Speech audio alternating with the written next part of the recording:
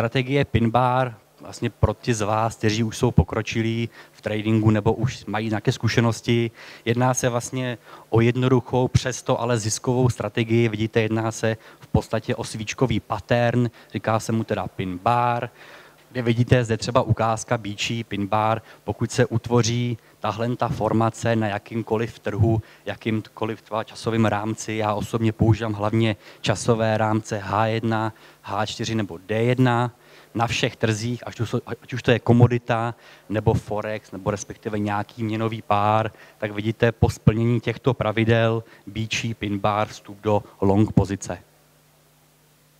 Zde je vlastně obrácení, že jo, utvoří se tahle ta formace, kde vidíte vlastně dlouhý horní stín na tom svíčkovém grafu, v tom vlastně price action, vlastně chování té ceny, tak zase zde se dává příkaz, že jo, vlastně, vlastně počká se, až ten trh si sám vyplní ten příkaz pro vstup do short pozice, že jo, stop loss nad tou formací a take profit může být třeba nějaká ta nejbližší SR zóna nebo nějaký logický bod.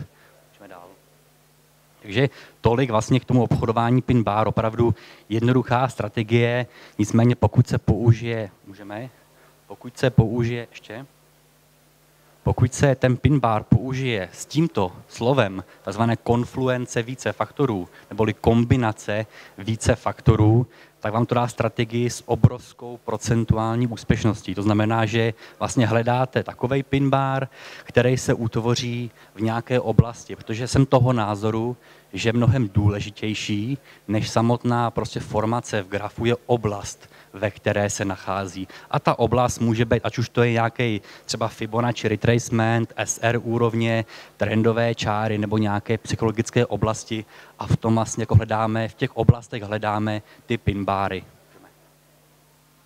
To je taková ukázka, vidíte, zde vidíte ukázka medvědí pinbar, vidíte ten pinbar, vidíte je vlastně ve směru vlastně trendu, ve směru dolů, vidíte, je zde nějaká SR zóna a vidíte, je zde nějaký prostě Fibonacci retracement. Takže vlastně o to víc vlastně bude silnější, úspěšnější tento signál, že je vlastně v té konfluenci více faktorů.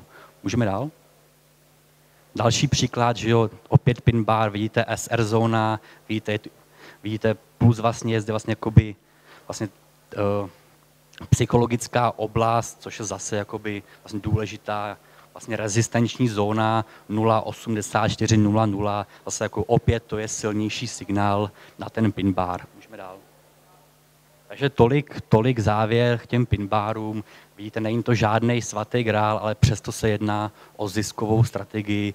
Pokud se ji naučíte, tak vlastně můžete vlastně už být ziskový obchodník. Opravdu vždycky říkám, že není těžký se jako naučit trading, naučit se ty principy, ale pochopit to, jak vlastně pasuje všechno do sebe. Ta psychologie, money management a ty strategie.